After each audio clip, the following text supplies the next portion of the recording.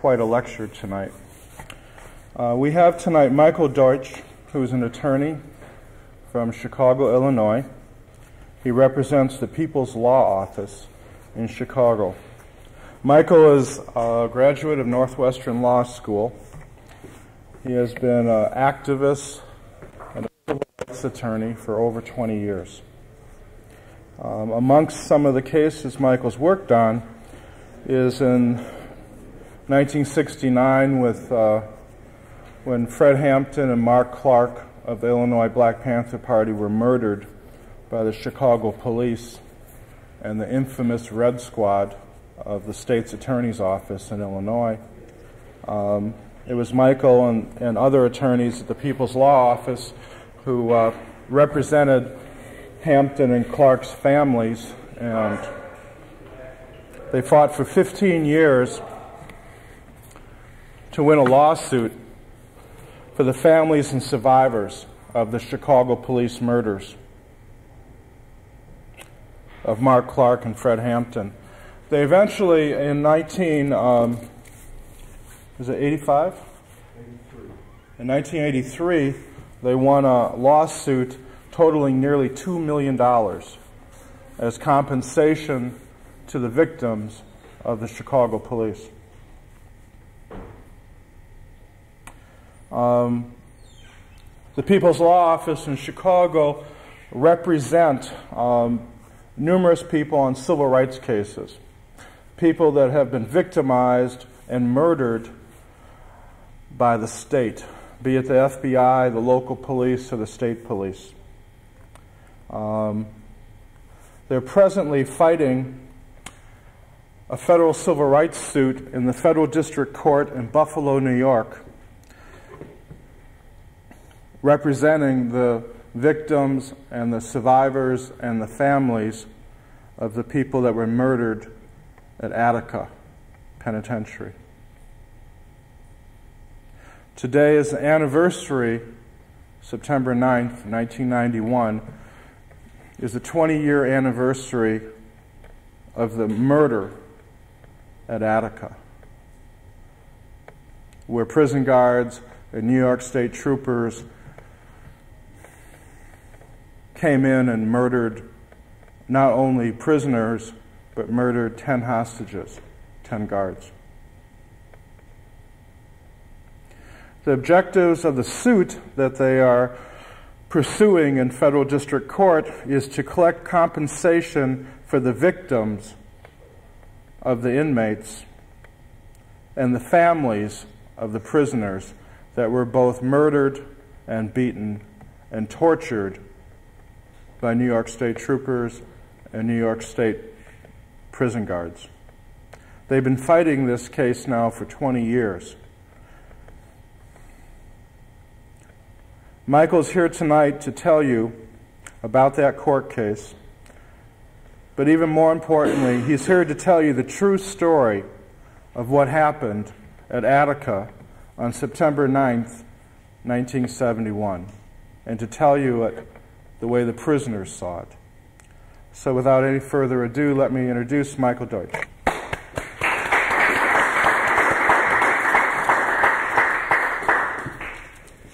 Um, today, September 9th, is the day that the prisoners started to riot and ultimately rebelled at Attica. September 13th, Friday, four days later, is when the state police stormed Attica prison. So we are celebrating not only the 20 year anniversary of the rebellion in Attica, but we're commemorating the tremendous, terrible slaughter that occurred on September 13th. What happened in Attica was the worst slaughter and mass brutality inflicted by government authorities on unarmed U.S. civilians in the history of this country. You cannot think of any other circumstance other than attacks by U.S. military on Native American people where more people were killed and injured uh, by force by, authorized by the state. 29 prisoners were killed at Attica. 10 guards and civilians who worked for the state of New York were killed, all by state bullets, either by the state police, who were authorized and ordered by then Governor Nelson Rockefeller to go into Attica, and by correctional officers who were forbidden to go into Attica and yet went in anyway, carrying their own weapons and firing at will. In addition to the 39 people that were killed in that onslaught, over 85 prisoners were seriously wounded by bullets, and hundreds of prisoners were systematically beaten and tortured after the prison was taken and after the prisoners were totally subdued. In order to really understand why Attica happened and the circumstances of Attica, I, I suspect at least half of you in here weren't even alive when in 1971. Uh, it's important to understand what was going on in New York State prison system back then, and in fact, uh, what was going on at Attica. At Attica, you had a prison population that was 70% black and Puerto Rican, yet every prison guard at Attica was white. The majority of the prisoners came from urban areas, either New York City or the Buffalo area, and the entire prison guard population came from rural upstate New York. You had a total lack of communication between guards and prisoners. The prisoners lived under conditions which were intolerable. They were forced to work for 20 cents a day under, in the metal shop or in the laundry, in uh, incredibly uh, hard jobs, dirty jobs, uh, very hot working conditions yet they were allowed to only shower one day a week, even though they worked under these conditions. They were forced to march to and from the mess hall. Their meals consisted of mostly pork. Many of the prisoners at Attica were Muslims who didn't, was against their religious teaching to, to eat pork. Uh, many of the prisoners, at least uh, 20% of the prisoners, were Latin, mostly Puerto Rican yet they had no Spanish speaking guards. The prisoners were not even allowed to uh, correspond with their family in Spanish, even though their, their families only spoke Spanish. There were no books in the library in Spanish. Uh, there was a total lack of any type of recognition that there was a population that was diverse um, and needed special um, attention. The medical care at Attica was intolerable. The doctors, they had two doctors at Attica, at Attica who refused to, to treat many prisoners. They used to examine prisoners through a metal, through a, a, a mesh screen. They wouldn't even let a prisoner sit in a room with them. They had to have a screen between the prisoner and themselves. There was no religious freedom. Uh, prisoners could not, particularly Muslim prisoners, could not practice their religion. There, uh, prisoners were not allowed to receive reading material of their choice. There was a, a censor who said at one point, any, any books about science, psychology, uh, I'm going to keep out because we don't want prisoners thinking about psychology or science while they're in prison. Um, there was no educational opportunity for the prisoners. Um, there was no grievance procedure. Um, there was no uh, legal assistance for prisoners. Essentially, you had a situation which is not that different than today in many prisons. Uh, it was more pronounced at Attica 20 years ago. But you had prisoners that were basically warehoused there and spent most of their time in their cells with nothing to do. And you also had a very politically conscious prison population. Many of the prisoners had been uh, come out of the 1960s, the movements of the 60s. Uh, they had, if not part of those movements, had learned about those movements. They identified with those movements. Uh, they felt that they were being oppressed because of their, their race or because of their economic status. Uh, they had in Attica a chapter of the Black Panther Party at that time. They had a chapter of the Young Lords Party, which was a Puerto Rican liberation group. And they had many black Muslims in Attica who had gotten some strength and some clarity about their own status by following the teachings of Elijah Muhammad.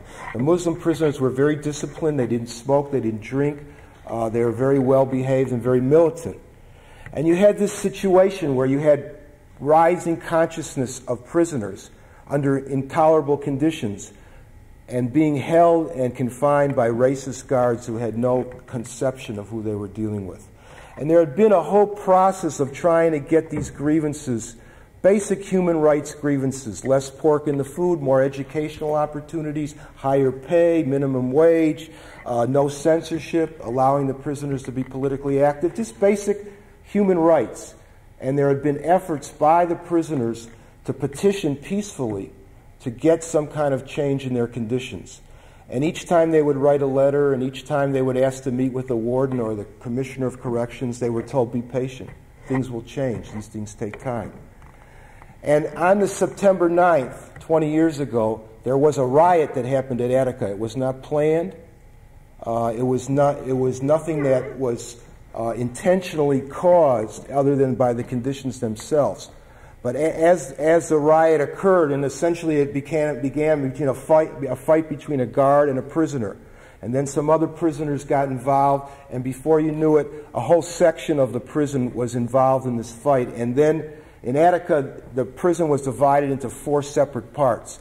If you lived in one part of the prison, even if your brother lived in another part, you could not see him. Only one day a year could you ever see him. They had divided the prison into four separate prisons. And in that day in Attica, the Times Square gate, which separated the prisoners in those four prisons, broke. And those prison, prisoners were able to run and meet each other. And 1,200, almost 1,300 prisoners streamed into D Yard in Attica. And as they, as they rioted into D Yard, they grabbed 40 hostages, mostly guards, some civilians. And they, and they were, found themselves in this huge area, uh, in control of the prison, in that area of the prison, uh, not really knowing what to do next with these hostages, with a lot of people who had anger towards the guards, with an idea of venting their frustration. And in the initial period when the riot first happened, some guards were injured. And in fact, one guard was injured and ultimately died as a result of his injuries. And there was a very tense and troubling situation. White prisoners were scared. What was going to happen? Was this going to be a race riot? Um, was there going to be uh, more vengeance taken out on the hostages? And what happened then turned the riot of Attica into a political rebellion. Because what happened was is that some of the more politically conscious prisoners, some who belonged to various groups that had been espousing change in the prison, got together and they said, We have to do something here to let the world know that this is not a riot of animals, but this is a rebellion of prisoners who are trying to seek better conditions for themselves. And they elected representatives, spokesmen, white people, black people, Puerto Rican people. And the first thing they did was they said, We have to protect these hostages and make sure that nobody does them any harm.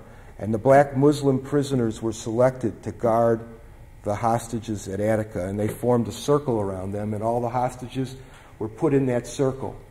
And then they set up a table, and they made a call, a public call. They said that they wanted people to come, observers, uh, prison rights advocates, elected, elected officials, newsmen, to come to D Yard and listen to their grievances and hear them.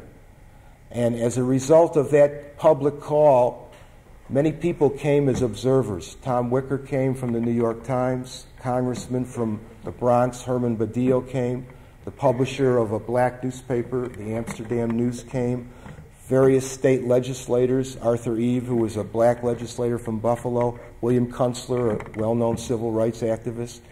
About 40 different people came, as well as news people. And they came to hear the inmates' grievances and to help somehow peaceably resolve this issue. And at the same time, the state of New York realized that they had to begin to listen to the inmates at Attica, and they began a process of negotiations. And the then head of the uh, corrections, a man by the name of Russell Oswald, went into D Yard and sat at the table and began to negotiate with the prisoners about their, the issues that they felt were just grievances. And this was all being filmed to the world. The world was seeing on television what was happening at Attica and what really the prisoners were after there. And this went on Friday, Saturday, Sunday. Thursday, Friday, Saturday, Sunday. During that time, the prisoners had to create a society that was going to take care of 1,200 people in D Yard. They had to protect the hostages. They had to feed 1,200 prisoners and 40 hostages. They had to make sure that they had places to sleep. They had to make sure that there was a way to protect people from other people. So they set up a security system where several of the uh, inmates were in charge, and they made sure that there was no assaults by prisoners on other prisoners, no homosexual attacks in any way, no drug use. They set up rules. They made sure that the hostages were the first ones fed, and they, and they got mattresses for the hostages, and they made sure that they were covered at night. They set up a, an actual society in D Yard, and the world could see that. And despite the fact that there was a lot of anger and frustration, during that four days there was no hostage that was harmed. Every hostage was protected. And they basically ran a society there uh, in D Yard, and the negotiations went on. And what happened was at some point the state of New York decided that they didn't want to negotiate anymore. They wanted to take back Attica Prison. And when it became clear that they were going to do that, they had amassed over 500 state police armed with riot shotguns and high powered rifles. Correctional guards, guards at the prison, were all brought their own personal weapons and were surrounding the prison. Sheriff's police from all over the area came to Attica. Park police came to Attica. And they were, had been waiting outside Attica for four days, chomping at the bit to go in and retake the prison. And as they waited, these rumors were circulating among the force that there had been atrocities committed against the hostages that a hostage had, hostage had been emasculated, that hostages had been killed. And, and those in authority knew that those, those rumors were false because they were people going in and out and they could see the hostages, yet they took no steps to try and dispel those rumors. There was the, the assault force, which made up of over 500 armed state officials, were all white. And basically, there was a lot of talk about we're going to get us a nigger, we're going to get us a white nigger. We're going to get us a Puerto Rican nigger. They were making racial taunts at the observers when they went in and out to help the prisoners negotiate. Even the commissioner of corrections who was going in there was being vilified by the people outside, the armed police, because of the fact that he was trying to settle the thing peaceably.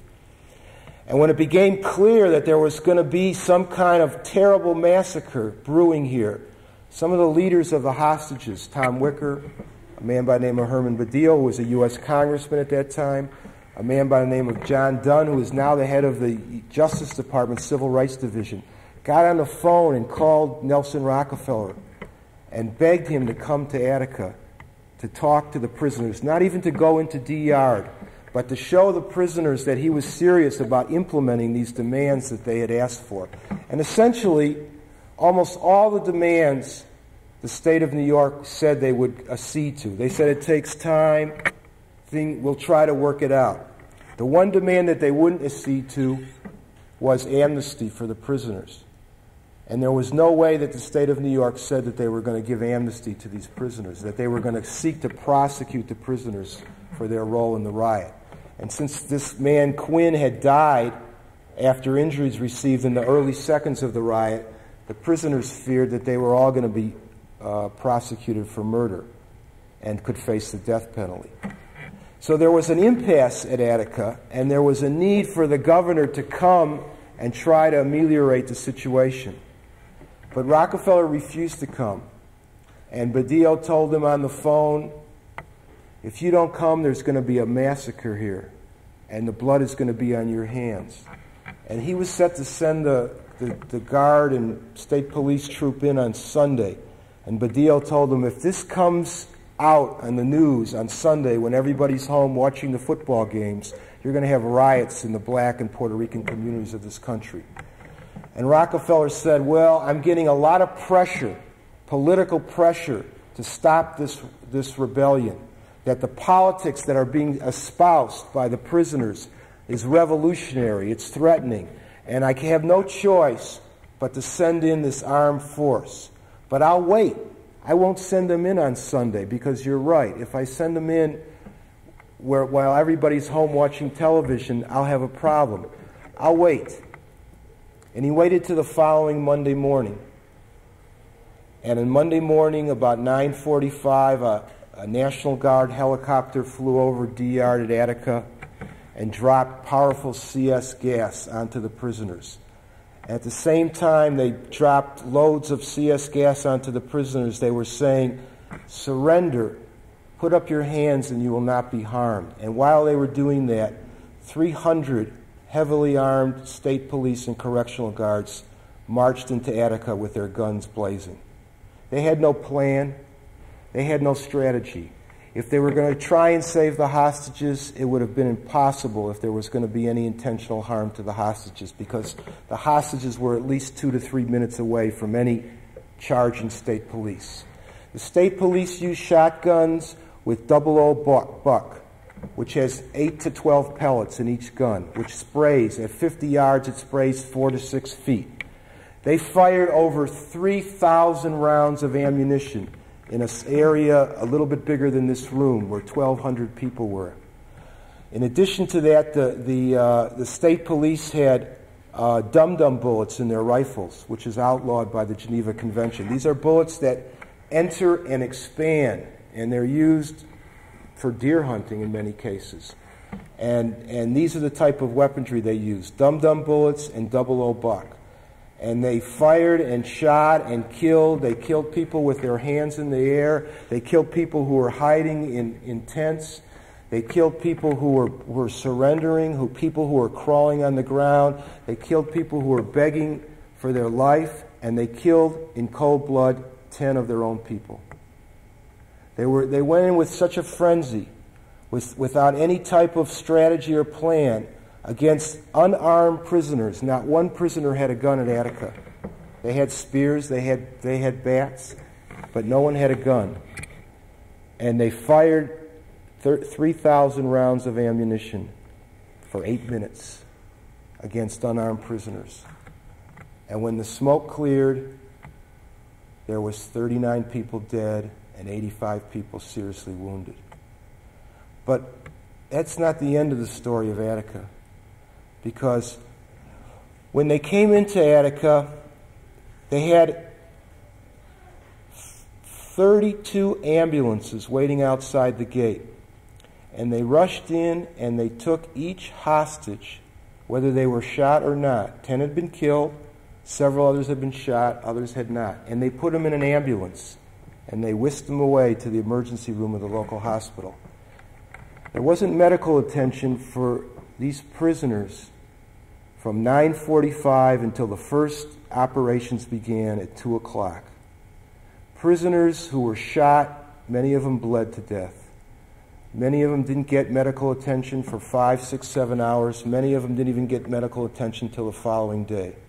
No provisions were made for the medical needs of the prisoners.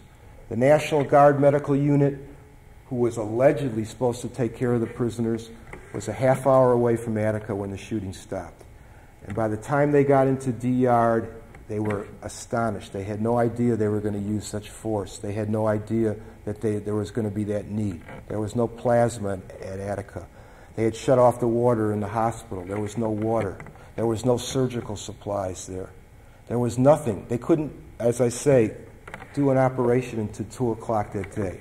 And then prisoners were so badly injured that they had to be taken out of the prison and the warden refused to allow the prisoners to be taken out to a, a regular hospital. The first prisoner arrived at an outside hospital at 5:30 that evening. 9:45 the assault was over. The first prisoner arrived at the hospital at 9:45. They also stripped all the prisoners and they set up a systematic strategy of brutality and torture. They took the people who they felt were the leaders, the negotiators, and they put X's on their back and they isolated them. And they systematically tortured them for several hours. One, one man who was the leader of the security force was put on a table, nude. A football was put under his chin. And he was told if he dropped that football, they'd kill him. And then they proceeded to put cigars and cigarettes out on his body, to take shot, hot shotgun shells and put it on his body, to take gun butts and smash him in the testicles repeatedly. For four hours he laid on that table. Other people were tortured similarly. There are many stories, gruesome stories, about what happened. And this was all witnessed by the National Guard who came into Attica about a half hour to 45 minutes later and testified about incredible acts of brutality and bestiality that was uh, carried out against these subdued, nude prisoners. And this, this type of activity, this mass torture, didn't just go on for that day. It went into the night, it went into the next day, and into the day after that.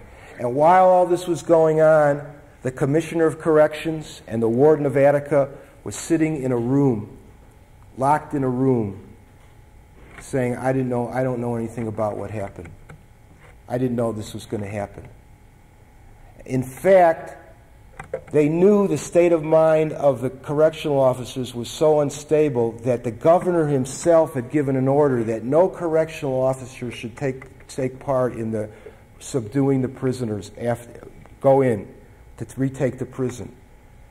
That order was never communicated by the higher ups, and in fact, many correctional officers went into Attica prison with their own personal weapons, and the evidence shows that several of them killed their, their bullets were found in, in dead prisoners. Several prisoners were executed after all the shooting stopped.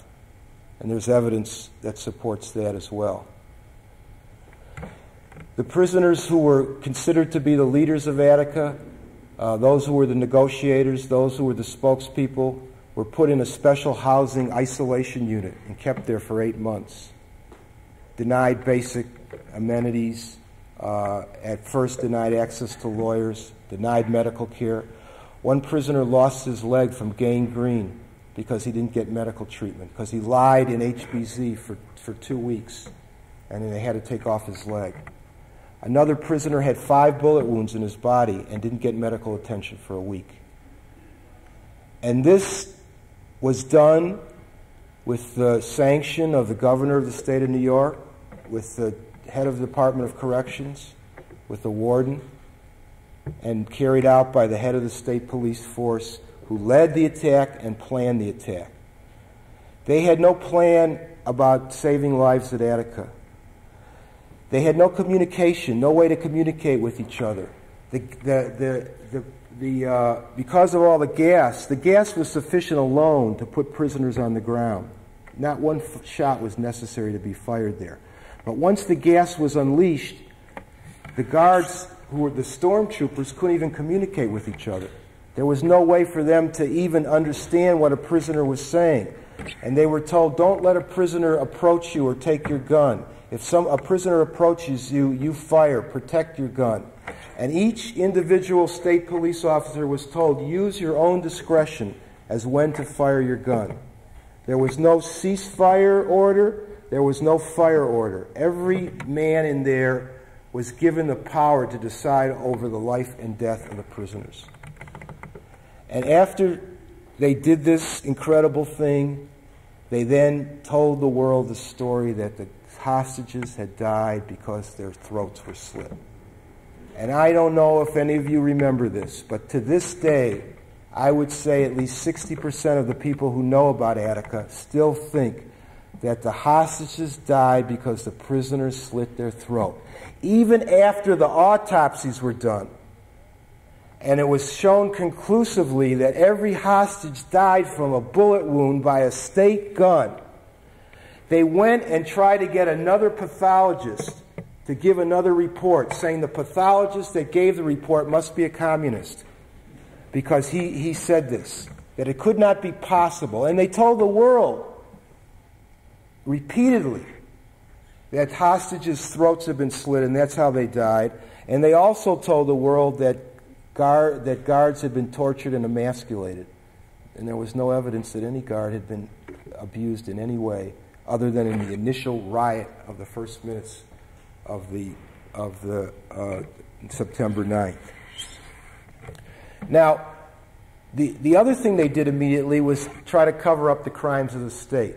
They had no accountability. No one who had a rifle or a shotgun signed out. Usually, when you have a shotgun or a rifle, you have to sign your name so they know what gun belongs to what person. They didn't do that at Attica. They didn't film parts of the assault. They did not have any accountability for the uh, bullets that were used. So, so there was no way of knowing how many bullets somebody took. They took all the physical evidence that was found in the yard and they destroyed it. They had the state police investigators assigned to investigate what happened at Attica. The same state police that went in and shot the people were now in charge of investigating what crimes took place at Attica. And not unsurprisingly, there was a grand jury investigation carried out to find out what happened at Attica and what crimes were committed. And after eight months of giving evidence by the state to a grand jury, 60 indictments were returned at Attica, all against prisoners. Not one state official, not one guard, not one state police was charged with any criminal activity, not for the shooting, not for the beating, not for the denial of medical care. The only people that were indicted were prisoners for kidnapping and being involved in the riot. And these prisoners, 60 of them, faced 1,500 counts of felonies. Most of them were looking at life imprisonment for this. And this was supposed to be an impartial inquiry into what happened at Attica. That's basically when I got involved in the Attica situation. I came there in October of 71, uh, right after the, the rebellion was subdued. When I came, this was three weeks afterwards, there were still prisoners with bullets that had not had medical attention. There were prisoners that were badly in need of, of medical attention. There were prisoners that had no access. They had not even told their families. One of the things that the prison did was immediately notify the hostages' families about their death, but didn't bother to notify the prisoners' families until weeks later. Families didn't know that their loved ones had been killed. There was no information being uh, let out of Attica. And what we tried to do was organize a defense to these charges and to try and bring the true story of Attica, at least in defense of people who were charged with crimes, because the real criminals at Attica were the, were the state officials, and more, even more so than those who, who fired the weapons and those who did the actual brutality. It was those in, in, in authority, because as, as Herman Badillo said, and Tom Wicker wrote a book with the title, What Was the Hurry? What was the rush? There's always time to die. Why couldn't they continue to negotiate? Why did they have to go in with that type of force when they knew that the assault force state of mind was such that there was going to be a massacre? And they told Rockefeller there was going to be a massacre. And they told them that they shouldn't let the correctional guards go in there. And yet they went ahead and did it anyway. And the reason they did it was they wanted to make a statement to the world. And Oswald, who was the commissioner of corrections, came out of, of the prison that morning and said, we cannot tolerate this type of political activity. We will not allow prisoners to rebel in our society. And it was mostly because these prisoners were not only rebelling, but they were saying things to the world about their conditions. And they were asking for humane treatment. And they had to be crushed and they had to be suppressed. And the state of New York, through Governor Rockefeller and the, and the higher ups, were committed to doing that. Now, as a result of the criminal cases, the, the, the prosecutions were so one sided and the, it were so unfair that ultimately the new governor of the state of New York, a man by the name of uh, Hugh Carey, had to give amnesty to all the prisoners. Only one prisoner was ever convicted, and he was given amnesty from a prison cell. All the other cases were dropped because they wanted to close the book on Attica. They wanted to say, well, it wasn't a fair investigation. The crimes of the state were not really investigated. So let's close the book because we don't want to look into what really, what real crimes the state committed at Attica. And in fact, there was a man by the name of Malcolm Bell, who was a very straight, prosecutor, Harvard Law School, answered an ad in the paper saying for a prosecutor, and he joined the Attica prosecution.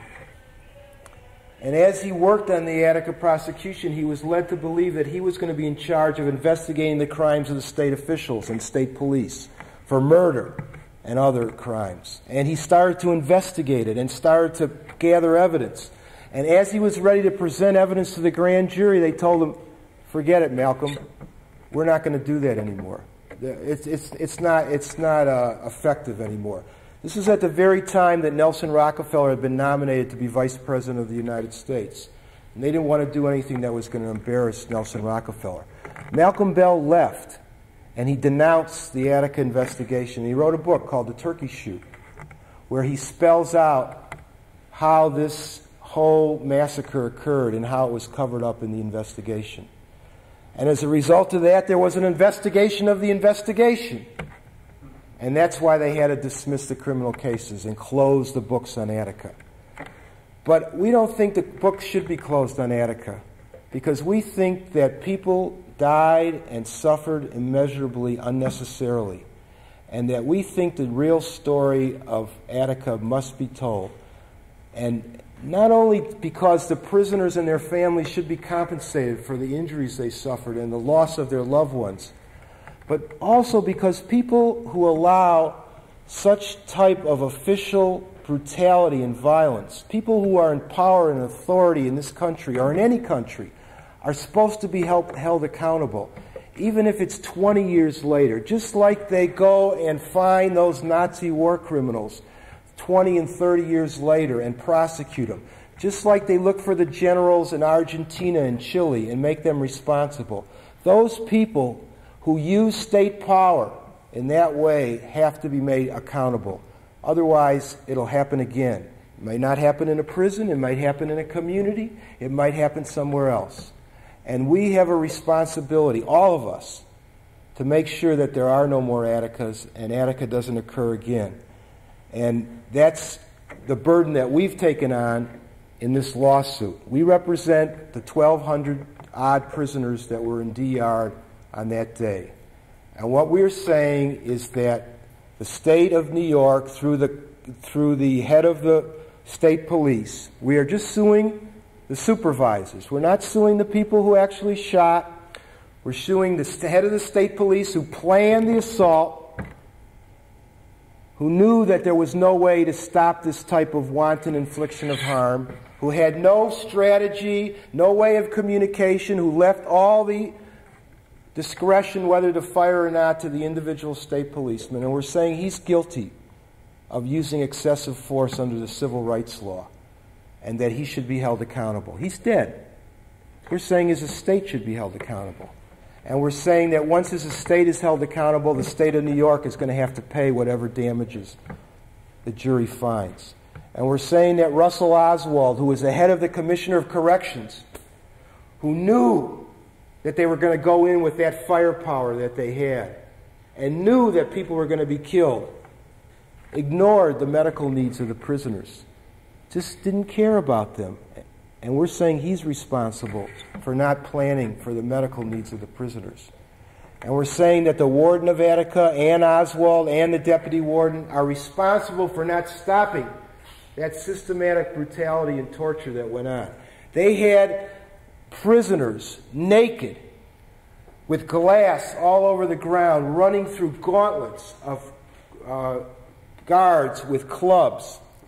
And as they'd go through these long gauntlets, which were maybe 30, 40 feet long, on each side a guard with a long club or axe handle, and they would be whacked across the back of the head or across the, the uh, waist or on the leg. So that 10 days after this, a, panel of independent doctors came into Attica and found that at least 50% of the prisoners they looked at had bruises all over their body as a result of this. Ten days afterwards, that was the force and the veracity, ferocity that they used against, against them in doing this. And of course, the ones that were singled out were tortured systematically for over a period of days.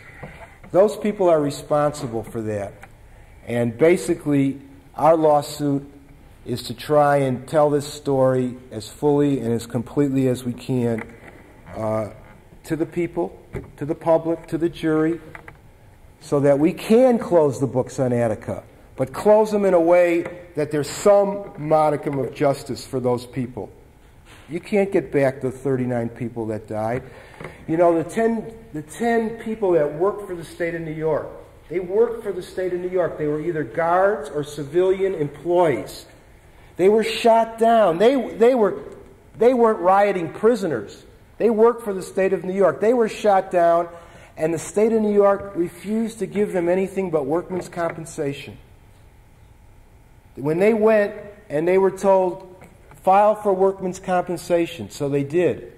And then when they filed for it, they said, oh, that's, too, that's it. You have selected your remedy. You can't go to court. You can't get any type of damage. So they even were willing to sacrifice their own people because what they were trying to do is send a message to the world that we are not going to tolerate this type of activity. We're not going to let prisoners do this. But they didn't do it in a way like saying, we think the conditions are bad, we're going to try and change the conditions. They could have gone into that prison with sticks and clubs and gas and subdued that prison and without any loss of life. But they chose to do it another way, and that was an intentional decision. It was a political decision. So that's in a nutshell, an overview of the story of Attica. I'm sure you, this, what I said, may have engendered a lot of questions, and I'm here to answer questions that you may have about what happened, what's happened to the prisoners. One question that people ask, so I'll answer it right away. There are still about 100 prisoners still in prison 20 years later who were in Attica. Many prisoners have gotten out, some have gone back in. Many have died, and then there are a whole group of others that have really made it. They have good jobs, they have families, they have tried to put the horror of Attica behind them, and they are productive members of society. But none, no one, not one person that was in D Yard and saw the way they came in there.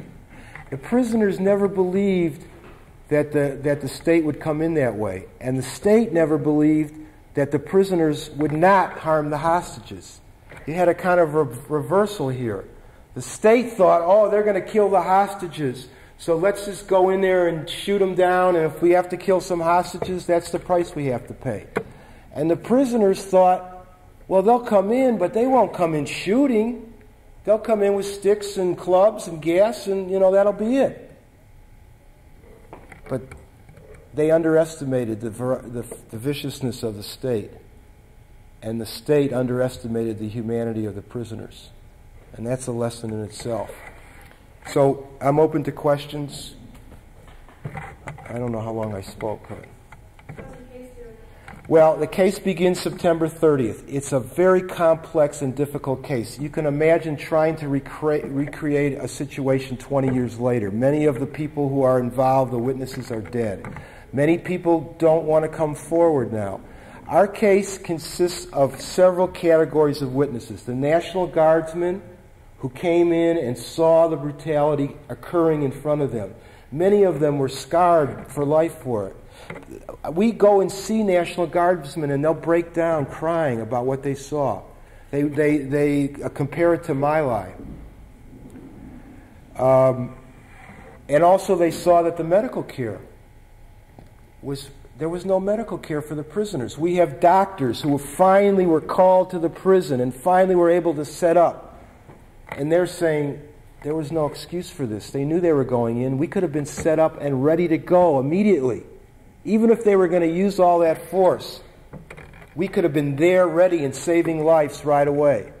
So that's another group. And the prisoners a gr- is a group of witnesses. Many of them are dead. And the observers. These are the people who came from all over to help the prisoners negotiate a resolution. It's a very difficult case. I don't know if you were sitting on a jury like that and heard this evidence, maybe you'd feel sympathetic and want to give a verdict for the prisoners, but maybe you'd say to yourself, well, they were rioting prisoners. You know, they shouldn't have been rioting in the first place. You know, they got what they deserve. I think some people will feel that way. And I think that those people would not give a verdict for a prisoner no matter what, no matter what the evidence. And that's a problem because a lot of the issue is racism, a lot of it is anti prisoner. Um, there's a lot of fear of crime that's increased since then. And people think prisoners are just as a class not entitled to any type of humane treatment. And that's the problem in terms of trying to try a case to a jury of people, you know, just everyday people.